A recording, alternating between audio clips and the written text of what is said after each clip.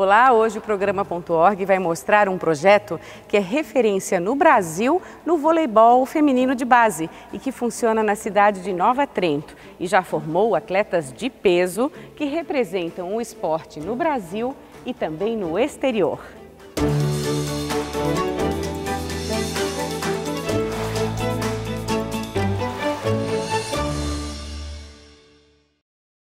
Rosa Maria, da seleção brasileira e que atualmente joga na Itália. Caroline Tormena, que joga no Canadá. Raquel Loff integra o time de vôlei na Eslováquia. O que essas atletas têm em comum? Todas são crias do projeto Voleibol Nova Trento, criado em 1998 por Vandelina Tomazoni Ribeiro, a Vandeca. Em 2002, o projeto começou com um período de expansão ao se transformar em Associação de Pais e Amigos do Esporte Neotrentino. Hoje, o projeto atende cerca de 80 meninas entre 8 a 18 anos. Vandeca, tens história de atleta também, né? Conta um pouquinho, você também sempre jogou vôlei, sempre foi apaixonada por vôlei, pode contar. Então, é, eu venho de uma família que sempre esteve envolvida com o esporte. E, e eu, aos 12 anos, me apaixonei pelo voleibol. Desde então, eu digo que eu tenho um relacionamento sério com ele. E, e aí pra, joguei, pratiquei voleibol durante a minha infância. Depois casei, tive meus filhos.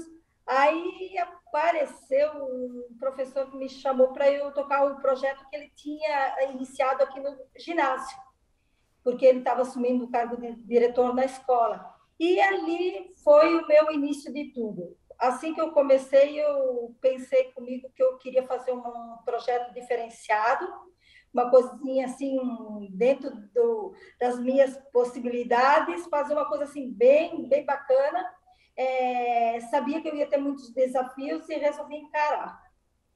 Quando você fala em projeto diferenciado, né? Hoje, olhando a sua trajetória, as suas realizações, qual o diferencial do, do projeto? As primeiras competições que eu participei foram os escolares, que foram me dando uma grande visibilidade.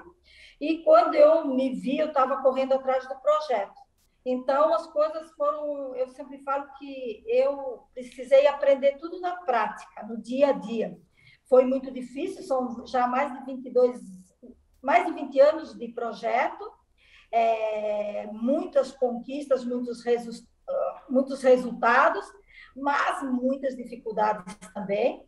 E, assim, eu gosto de desafio e eu não queria, mesmo passando pelas dificuldades, eu entendia que eu não tinha que, que abandonar, que jogar toalha.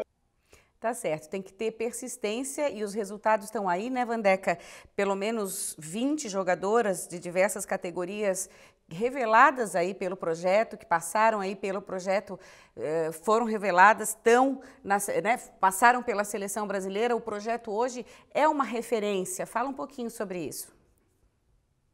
E, então, ele, é, ele hoje realmente ele é uma referência e as coisas foram acontecendo assim. Eu tenho um projeto dentro da cidade, então eu desenvolvo um projeto social com as crianças da comunidade e a partir do momento que eu fui me estruturando, eu comecei a oportunizar meninas de outras cidades.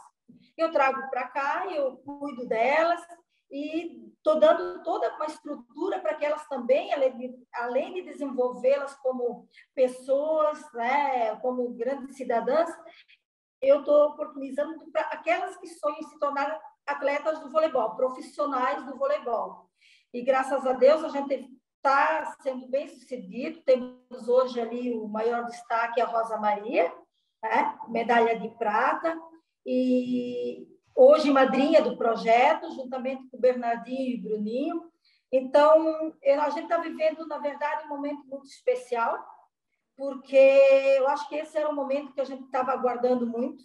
Muito feliz pelas conquistas da Rosa, por ela estar tá realizando o sonho, pelos meus sonhos, que eu sonhava com isso e por tudo que esses resultados podem trazer hoje para o projeto. Você falou da atleta, né, da, da Rosa Maria, imagino, fiquei imaginando quanto que você não torceu pelo Brasil nessas, nessas últimas Olimpíadas, né, Vandeca? Nossa, é um momento muito especial, porque a gente queria muito isso e, é, aí, de repente, a gente se viu nesse momento, né? Então, foi, foi assim, como eu te falo, a gente está vivendo um momento muito único, é, especial e mais feliz porque eu, eu sempre penso no projeto e eu quero colher muito mais para eu poder fazer um trabalho muito melhor. Eu, eu sei, a gente sabe que sempre pode mais, né? E a gente quer isso realmente, fazer as coisas dentro do possível melhores ainda. Você falou da, da Rosa Maria, falou do Bernardinho, do Bruninho. Tá, o, o projeto está bem aí, né? Está bem apadrinhado, amadrinhado. A gente vai acompanhar um depoimento que o Bruninho gravou para o pro projeto. Olhem só. Oi, pessoal. Aqui é o Bruninho, capitão da Seleção Brasileira de Vôlei e um dos embaixadores do projeto de voleibol Nova Trento, né, da minha amiga Vandeca, que está muitos anos aí é, correndo atrás e passando seus valores, a sua experiência né, para todas essas jovens né, que estão praticando voleibol. E a gente sabe que nesse momento, ainda mais a pandemia, com todas as dificuldades, ela precisa de ajuda. Então, aos patrocinadores, as pessoas que quiserem ajudar, né, vamos é, juntos nessa. Né, eu também estou é, fazendo a minha parte, eu quero poder ajudar e cada vez mais é, usar esse, esse grande projeto de voleibol de Nova Trento com a minha amiga Vandeca para fomentar cada vez mais o esporte e que é uma das ferramentas mais importantes para uma sociedade melhor. Muito bacana. Eu quero falar também, Vandeca, sobre a rotina de treinamento, né? Muitas meninas que são apaixonadas pelo vôlei, que querem aprofundar conhecimento. Como é que é a rotina de treinamento delas no projeto? Então, a gente tem todas as categorias, né? Desde a escolinha até 18 anos, o é, sub-20. E eles se dividem em horários específicos para cada modalidade, a escolinha da comunidade e tudo, e depois tem a parte do rendimento, onde tem um professor com os, os estagiários que fazem todo o acompanhamento diário com elas. É, a rotina delas é academia, estudar, e treinar. Eu gostaria de, de, de, ouvir de você a questão, quando a gente fala de projeto de, de base, da valorização desse tipo de projeto. Você falou no começo da entrevista sobre desafios. Acredito que isso seja um desafio constante, né? Buscar esse reconhecimento, buscar essa, essa valorização é muito importante. Por isso que eu falei que, além do momento especial que a gente vive com Rosa Maria, a, realizando o sonho dela, o meu, é tudo que pode acontecer para o projeto, porque a base é, é muito difícil, a gente não tem toda essa visibilidade, então a gente precisa buscar ela essa visibilidade constantemente, buscar pessoas, parcerias, para que a gente consiga desenvolver um projeto é, ideal, dar toda a estrutura para elas, para que elas realmente sejam atletas de, de alto rendimento, que elas venham realmente é, realizar o sonho delas. A gente sabe, né, Vandeca, o poder do esporte como ferramenta de transformação mesmo. Exatamente, é isso. A gente é, eu sempre falo que a gente é suspeita falar porque a gente está aqui vê os resultados diariamente. Você tem depoimentos todos os dias, mas ainda a gente não conseguiu convencer uma sociedade. A gente não consegue, às vezes, muitas vezes, convencer o próprio pai que é um investimento na criança, que nós precisamos desse investimento nós precisamos da escola, nós precisamos dos, das, das crianças praticando esporte dentro da escola. Então, é uma luta, assim, de modo geral. E eu estou muito feliz porque eu acredito que as coisas podem realmente agora facilitar um pouquinho, ficar, se tornarem um pouquinho mais fáceis. Sim, porque até a própria Olimpíada, os próprios resultados vão dando mais visibilidade também, né? Isso é, isso é muito importante. A gente vê, eu, eu, quando eu falo, eu não falo só é, da Vandeca, eu falo em nome de tantos projetos que, que dependem muito de ajuda, que muitas pessoas não conseguem mantê-los, né? Então, eu falo por, por, essas pessoas também, porque eu sei, eu passei pelas dificuldades e a minha sorte que eu jamais desisti, é, enfrentei tudo, mas muitos não conseguem. Tem uma idade ideal para começar a treinar o, o vôlei, Vandeca? Geralmente, oito, nove anos, a gente começa, né? Vai trazendo as crianças da, da comunidade, da escolinha, né? Uhum. E vai trazendo. E depois, dependendo, a gente a gente, como é que eu vou dizer, a gente oportuniza meninas de outras cidades. Então, hoje eu tenho meninas do Brasil inteiro. Uhum. E depois, inclusive, vocês vão falar com uma delas que veio de Pernambuco. Demoramos uns seis meses para convencer a mãe que ela poderia estar aqui com a gente, por, por ela ter já uma, é, como é que eu vou te falar, um perfil que se adequada bem ao voleibol, uma menina de 14 anos com 1,90m, e a gente sabe que o esporte ele tem um período onde a gente precisa começar a desenvolver, acelerar esse processo. Né? Obrigada, Vandeca. Nós vamos conversar agora com essa atleta, então, que já está aqui conectada com a gente. Tudo bem, Maria Cássia? Seja bem-vinda ao Ponto Org. Prazer, todo meu por estar nessa entrevista. Então, depois de uma longa negociação da Vandeca com a sua mãe, você veio para Nova Trento e está aí desde junho, julho. Conta um pouquinho para gente do seu envolvimento com o voleibol, com o esporte. Bom, é, a Vandeca está conversando com minha mãe desde janeiro para me trazer aqui nesse projeto. E depois de uma longa, é, longa conversa, estou aqui praticando voleibol, tenho 14 anos. E aqui eu estou começando a minha base, aprendendo a jogar voleibol. Estou muito feliz em estar aprendendo o voleibol. É um esporte educativo que transforma tanto a pessoa no projeto como cidadão. Imagino, são, são valores que são trabalhados também, não é, nunca é só o, é. o voleibol, né? Você já jogava antes?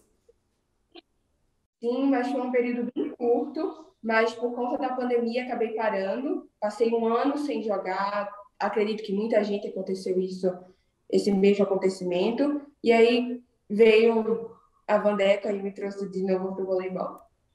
Voltou para as quadras, né, Maria? Exatamente. Foi uma situação incrível voltar para as quadras. Como é que está sendo a experiência? Conta um pouquinho sobre a sua rotina. Minha rotina é, é como a Vandeca disse. Treino, academia e estudo. Então, a rotina é totalmente focada a isso, focada ao voleibol, focada a você conseguir ser um atleta profissional e todo dia treinando, todo dia aprendendo, para conseguir sempre evoluir mais. E é isso. Qual posição você joga? É, eu estou tentando, a gente tá jogando como central. Uhum. E o que, que mais te, te fascina no voleibol, assim? É, toda a sensação quando a gente consegue realizar algo é uma sensação enorme. Toda vez que a gente consegue fazer cada movimento, cada ponto, é uma sensação enorme, é uma sensação eletrizante. E como é que você lida, Maria, com a saudade, com a distância da família? Eu sempre coloco um objetivo maior. Eu sei que a saudade é grande, a saudade da minha cidade também é grande, mas é um objetivo maior. Estou aqui por um objetivo, que é ser atleta do voleibol, conseguir essa oportunidade que muitas queriam, então estou aproveitando essa oportunidade com tudo, e sempre colocar o objetivo a mais. A saudade vem em segundo lugar, todo dia converso, mas sempre tem um objetivo a mais. Hoje em dia, com a tecnologia, fica fácil também. A gente está sempre conectado, a família está distante, mas ao mesmo tempo está perto, né? Exato, exato. Quem são seus ídolos no voleibol? Quem que você admira? Ah, eu admiro muito a Rosa Maria, sim, claro, uhum. e a Gabi Guimarães, também sigo bastante ela, eu acho linda a história dela. Qual o recado que você deixa para outras meninas, meninos que sonham também como você em serem atletas profissionais? Não desistir. É, eu acreditei uma, na minha vida que eu não iria conseguir mais ser, ser do voleibol. Acreditei que minha idade já estava avançada e minha altura era alta, mas eu acreditei que não conseguiria. Mas Deus colocou a Vandeca e eu consegui voltar para o voleibol. Então, não desistir. Sempre acreditar que a gente vai conseguir, vai ter alguma coisa para voltarmos a fazer o que nós gostamos, independente do que for. Tá certo não desistir nunca. Desejo aí muito sucesso. Ainda queremos ouvir falar muito da, da Maria Cássia, tá bom? Obrigada. Obrigada. E agradeço, agradeço muito a sua participação. Obrigada. Obrigada, prazer é todo meu. Hoje mostramos mais um exemplo de como o esporte gera oportunidades e vitórias. Através de projetos como este, as iniciantes de hoje podem ser as medalhistas de amanhã. O Ponto Org termina aqui, nos vemos no próximo programa. Até lá!